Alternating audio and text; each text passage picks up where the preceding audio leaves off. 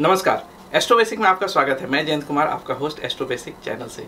आज मैं डिस्कस करने जा रहा हूँ अक्वेरियस साइन के ऊपर, कुंभ राशि के ऊपर। वेस्टर्न सिस्टम के अनुसार अगर आपका जन्म जनवरी 20 से लेकर के फरवरी 18 18 के बीच हुआ है तो आप कुंभ राशि के अंदर है। या फिर अगर आप इंडियन सिस्टम के अनुसार देखें तो अगर आपका जन्म 15 फरवरी से 15 मार्च के बीच में हुआ है तो भी आप जो है कुंभ राशि में सूर्य रहता है उसमें या फिर अगर आपकी कुंडली में चंद्रमा जो है, वो आपकी राशि में, कुंभ राशि में था जब आप पैदा लिए थे तो भी आपको कुंभ राशि इम्पैक्ट करेगा।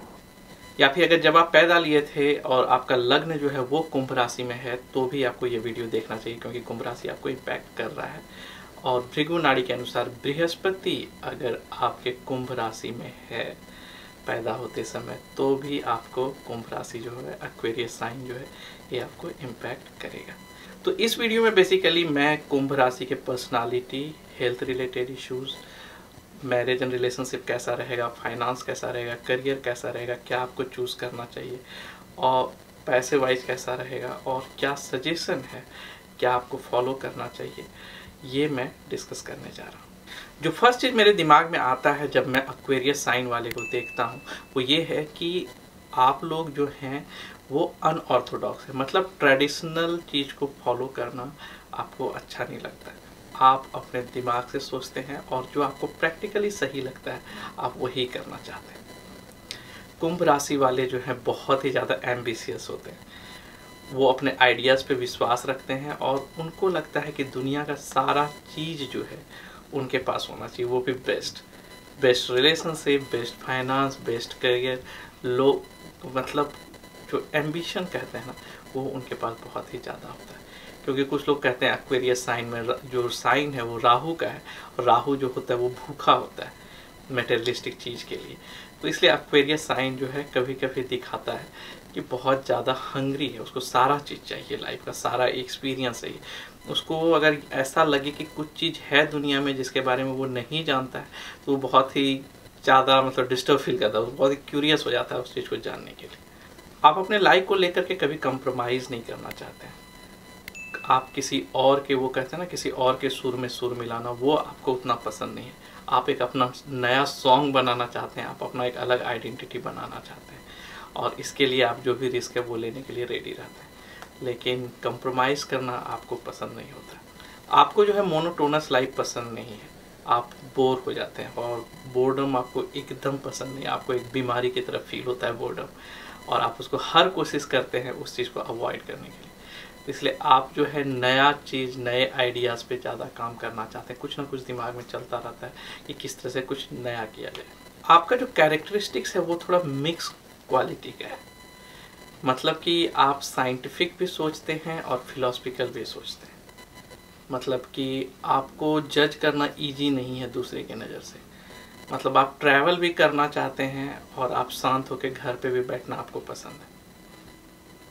आप पार्टी भी मनाना चाहते हैं लेकिन आपको अकेले बैठना भी पसंद है। तो आपका जो कैरेक्टर है वो थोड़ा मिक्स है।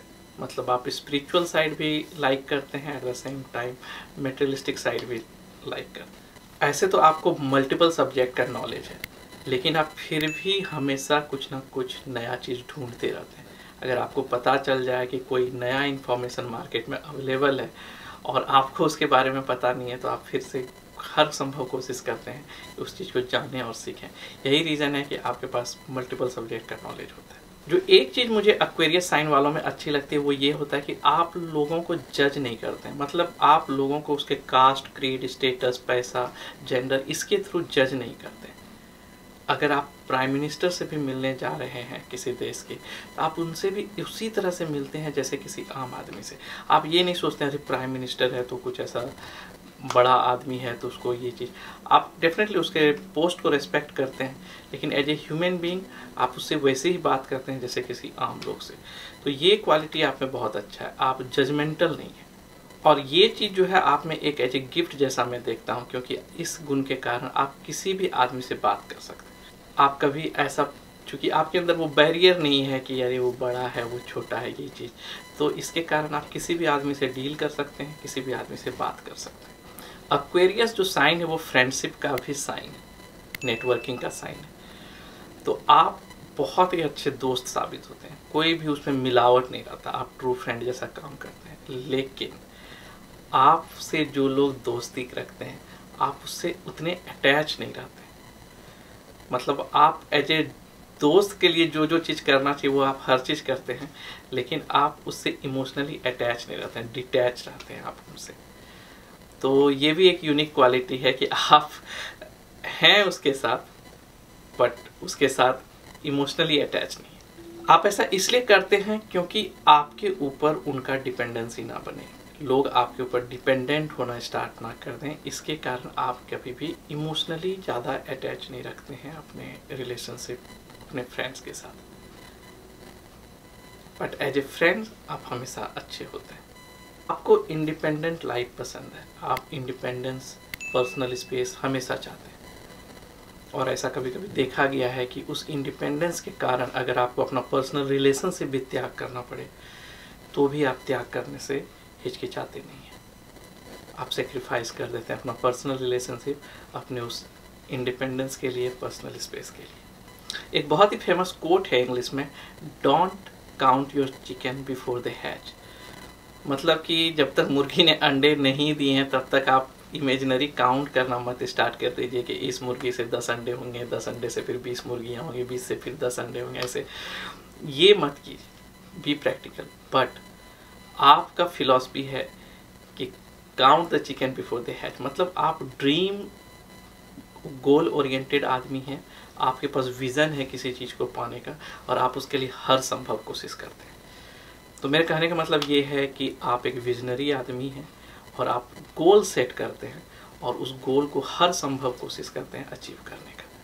तो ये भी आप में एक बहुत अच्छी क्वालिटी है। मेरा अनुभव ये कहता है कि आप जो है आइडियाज़ के बारे में आप बहुत ही अच्छे हैं। अगर कहीं पर न्यू आइडियाज़ के बारे में डिस्कस हो रहा है तो यू आर द बेस्ट लेकिन उसको एग्जीक्यूट करने के लिए जो एक्शन होता है, वो आपको अच्छा नहीं लगता। आप बहुत तरह के आइडियाज़ डिस्कस कर सकते हैं, लेकिन इम्प्लीमेंट करने के लिए जो काम की बारी आती है, उसमें आप उतने अच्छे प्रूवन नहीं होते। बेसिकली आप माइंड वाला काम ज़्यादा प्रेफर करते हैं रहते फ़िज़िकल वर्क के। जैसा कि मैंने बोला कि आप बहुत ही एम्बिशियस हैं बट आपका एम्बिशन जो है वो मीनिंगफुल एम्बिशन है। मतलब कि आप कुछ ऐसा करना चाहते हैं जिससे सोसाइटी में किसी का भला हो, या फिर आपके फैमिली में किसी का भला हो, या फिर आप मीनिंगफुल कुछ अचीव करें। तो केवल हवा में एम्बिशन नहीं है। आपका जो एम्बिशन है विथ पर्पस है तो ये भी एक अच्छी बात है।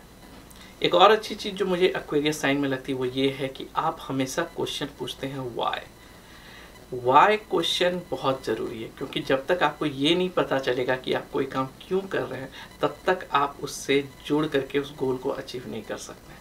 तो आप हर एक काम करने से पहले अपने आप से पूछते हैं कि मैं ये क्यों कर रहा हूँ? और जब आपको आंसर मिल जाता है, तब आप उस पर फुल फ्लेजेड कोशिश करते हैं उस चीज़ को कंप्लीट करने का। वेरियस साइन का अगर आप एलिमेंट्स देखेंगे तो वो है एयर एयर जो है वो आइडियाज़ सोसाइटी सोशल इंटरेक्शन को बताता है. तो इसीलिए एक्वेरियस साइन वाले जो होते हैं हमेशा आइडियाज़ पे काम करना चाहते हैं. और फ्रेंडशिप जो होता है नेटवर्किंग जो होता है, ये सब चीज़ एक्वेरियस के अंदर आता है. एक्वेरियस का जो क्वालिटी है वो फिक्स्ड क्वालिटी है. फिक्स्ड क्वालिटी होने के कारण क्या है कि वो अपने जो भी चीज़, जो उनका बिलीव सिस्टम है जिस चीज़ पे वो विश्वास रखते हैं, उनकी जो मान्यता है, उसको लेके बहुत ही दृढ़ है। आप उनको उससे हटा नहीं सकते। वो आइडियाज़ के लिए क्रिएटिव हैं, लेकिन अपना मान्यता, अपना जो चीज़ वो समझे हैं, उस चीज़ पे वो बहुत ही रिजिट रहते हैं। इसलिए उनको उससे हटाना जो है कभी कभी आपको वो स्टबन टाइप के दिखेंगे या इनफ्लेक्सिबल दिखेंगे उस एरिया में। रूलिंग प्लानट जो है सैटर्न है। कुछ लोग राहु भी कहते हैं, कुछ लोग यूरेनस भी कहते हैं। तो बेसिकली सैटर्न जो है, वो मेटेरियलिस्टिक प्लानट है। जिद को भी बताता है और डिटर्मिनेशन को भी बताता है हार्डवर्क को भी बताता है। तो ये सारा चीज़ जो है, इसमें देख। इस साइड में कोई भी प्लानट एग्जॉल्टेड नहीं होता है और कोई भी प्लानट डेबिलिएटेड नहीं होता है। हॉरोस्कोप में अगर काल पुरुष कुंडली देखेंगे तो ये ग्यारहवें हाउस को बताता है। जो ग्यारहवा हाउस होता है, वो गेन का होता है। मतलब लाभ का होता है। तो जो भी इनकम है ये, और ग्यारहवा हाउस जो होता है नेटवर्किंग का होता है फ्रेंड सर्कल का होता है तो ये हर तरह के गेन को बताता है, इसलिए ये लोग थोड़े से एम्बिशियस भी होते हैं, क्योंकि इनको लगता है कि सब चीज़ इनके पास होना चाहिए, इनको मिलना चाहिए। अगर आप इनके जॉडियक सिंबल को देखेंगे तो एक पर्सन है जो कि पानी जो है वाटर बेरर जिसको कहते हैं, कि एक पॉट से पानी निकल रहा है। तो वो जो पानी है वो बेसिकली ट्रूथ का सिंबल है। तो ये लोग जो है हमेशा सच्चाई पे विश्वास रखते हैं। मतलब स्पिरिचुअल चीज़ जो होता है, उस चीज़ पे विश्वास रखते हैं। बट जो बॉडी है पॉट जो है वो मेटेरियलिस्टिक चीज़ को बताता है।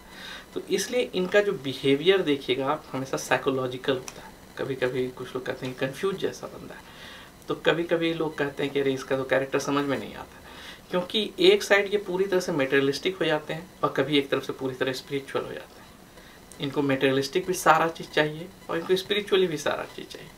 ये एम्बिशियस भी उतने ही हो जाते हैं और स्पिरिचुअल भी चाहते हैं कि उतनी तरह अपलिफ्ट लेकिन दोनों जो है, क्योंकि स्पिरिचुअल अप जाने के लिए मेटेरियलिस्टिक चीज़ कभी कभी छोड़ना पड़ता है डिटैच होना पड़ता है।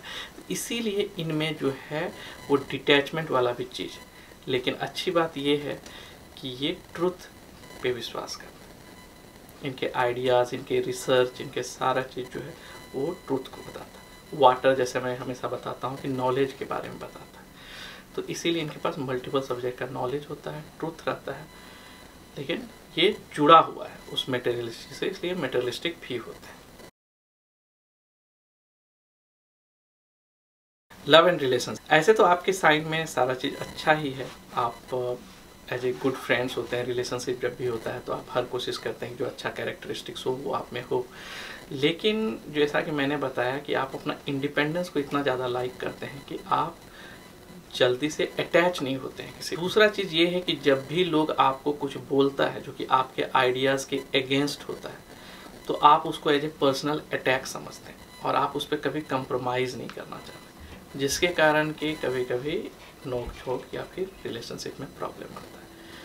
तो उस जगह पे आप फ्लेक्सिबल नहीं, और ये प्रॉब्लम आप हर जगह पे मैंने नंबर सिस्टम में भी और जॉडी एक्साइड में भी बताया था कि जब भी आप रिलेशनशिप में रहते हैं इमोशनल डील करते हैं, वहाँ पे फ्लेक्सिबिलिटी मैटर करता है। और जो भी साइन फिक्स साइन वाले हैं, वहाँ पे क्या हो जाता है थोड़ा सा कि फ्लेक्सिबिलिटी नहीं रहने के कारण कभी कभी इश्यूज़ जाते हैं। But overall love and relationship अच्छा ही रहता है। लेकिन थोड़ा सा आपको फ्लेक्सिबल होना पड़ेगा। अगर आपको कोई कुछ समझाता है या कोई कुछ कहता है, भले आपके थॉट प्रोसेस के अगेंस्ट हो या फिर आपके बिलीफ सिस्टम के अगेंस्ट हो, समझने की कोशिश कीजिए कि वो क्यों कह रहा है। फाइनेंस फाइनेंस वाइज ये बहुत अच्छा साइन है, क्योंकि ये गेन का साइन ही है।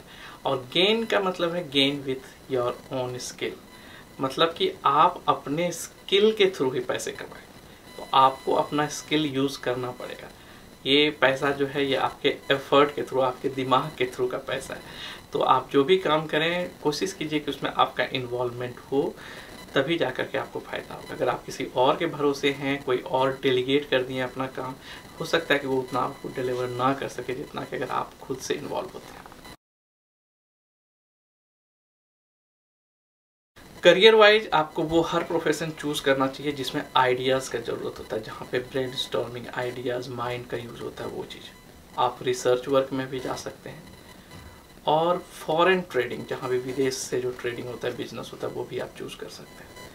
क्योंकि वाटर बेरर सिंबल है, ये वाटर साइन नहीं है, लेकिन फिर भी ये जो साइन है, इसमें से पेट्रोलियम वाला और एविएशन वाला मतलब हवाई जहाज़ या फिर जो हवा में उड़ता है वो सब चीज़ से रिलेटेड करियर भी आपको सूट करेगा और मैंने देखा है उसमें से लोग चाहते हैं।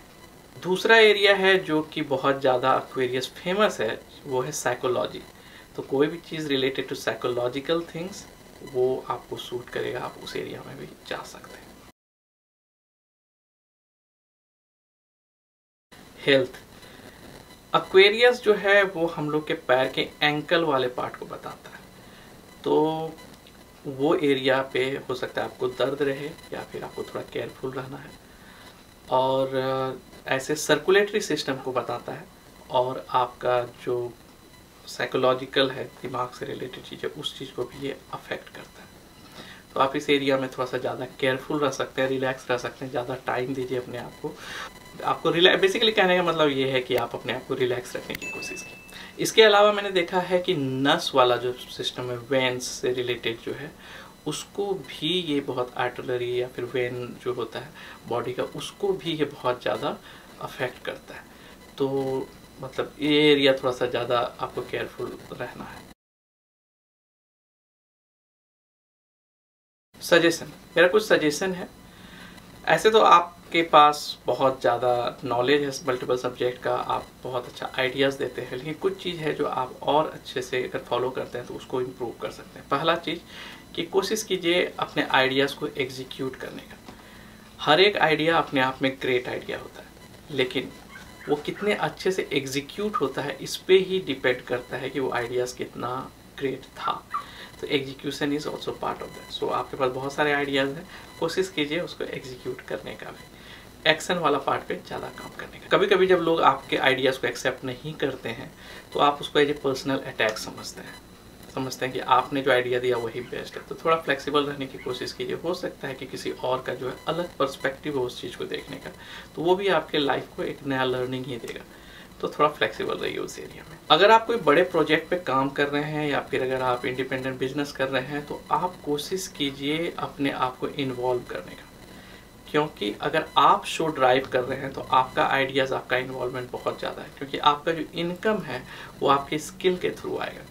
अगर आप अपना काम डेलीगेट कर देते हैं किसी को तो हो सकता है उतना आउटपुट नहीं आए। तो ये बहुत बड़ा इंपॉर्टेंट पार्ट है। इसको आप याद रखिए कि आपको उसमें इन्वॉल्व होना है।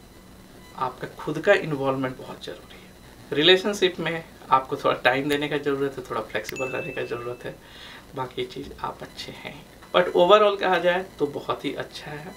आपका साइन जो है वो अक्वेरियस जो गेन का साइन है। मेटेरियलिस्टिक वर्ल्ड के लिए बहुत अच्छा है। ज़्यादातर पैसे वाले लोग हैं अक्वेरियस साइन से। और ये एम्बिशियस भी बताता है बनाता है एट द सेम टाइम आपके आइडियाज़ को भी बताता है। बस आप अपने हेल्थ को ध्यान दीजिए, थोड़ा सा रिलेशनशिप को ध्यान दीजिए। और अगर कभी भी आप कोई काम करते हैं तो कोशिश कीजिए कि वो जो है या तो वाटर से रिलेटेड हो या फिर फॉरेन ट्रेडिंग से रिलेटेड हो। ये दो चीज़ अगर कहीं पे आपको मिलता है तो ये आपको ज़्यादा सक्सेस देगा। सो ओवरऑल सब चीज़ अच्छा है। तो ये था मेरा एनालिसिस अक्वेरियस कुंभ राशि के ऊपर। अगर आपको कोई क्वेश्चन है तो आप मुझे ईमेल कीजिए Jayant Kumar at Astrobasic dot com पर अगर आप ज़्यादा जानना चाहते हैं अपने साइन राशि के बारे में तो आप मेरा न्यूमरोलॉजी रिपोर्ट ले सकते हैं, जिसमें मैंने सारे नंबर्स को एक जगह पे दे के रखा है। अगर आप बिगिनर हैं, न्यूमरोलॉजी सीखना चाहते हैं तो आप मुझे मेरी बुक ले लीजिए, न्यूमरोलॉजी एंड यू, जो कि बहुत ही अच्छी बुक है और बहुत ही ईजी लैंग्वेज में समझाया गया है। तो बिगिनर्स के लिए वो बहुत ही अच्छी बुक है, जिसमें मैंने सारे नंबर्स के बारे में बताया है। अगर आप न्यूमरोलॉजी सीखना चाहते हैं या एस्ट्रोलॉजी सीखना चाहते हैं तो रिकॉर्डेड कोर्स अवेलेबल है। तो आप वो भी ले सकते हैं। अगर आप न्यूमरोलॉजिस्ट हैं तो आपको डेफिनेटली सॉफ्टवेयर का ज़रूरत है। और मैंने रिसेंटली एक सॉफ्टवेयर लॉन्च किया है जो बहुत ही सही है। बहुत सारे एस्ट्रोलॉजर उसे यूज़ कर रहे हैं। बहुत सारे नए स्टूडेंट मेरे ले करके उसको यूज़ कर रहे हैं और उसके थ्रू सेल करके वो एक अलग पार्ट टाइम अपना इनकम भी जनरेट कर रहे हैं उसके रिपोर्ट को सेल करके। तो ये बहुत ही सही रिपोर्ट है। मतलब बहुत ही सही सॉफ्टवेयर है। आपको डेफिनेटली हेल्प करेगा। सेवन डेज़ का फ्री ट्रायल है। आप मेरे वेबसाइट पे जाइए और रजिस्टर कीजिए। सारा लिंक मैंने नीचे डिस्क्रिप्शन में दे रखा है। सो थैंक यू अगर आपको कोई क्वेश्चन है, आप मुझे ईमेल कीजिए Jayant Kumar at Astrobasic dot com पर या फिर आप मुझे, या फिर आप मेरे वेबसाइट पे विज़िट कीजिए W W W dot astro basic dot com ask question section so अगर आप मेरे चैनल पे नए हैं तो प्लीज़ सब्सक्राइब बिलो और स्मॉल यूट्यूब टाइनी आइकन और आप बेल आइकन को भी दबाना ना भूलें। मैं सोशल मीडिया फेसबुक और इंस्टाग्राम पे भी अवेलेबल हूँ। वहीं पे मैं सारा इंपॉर्टेंट अपडेट्स देता हूँ। So thank you stay tune see you next video bye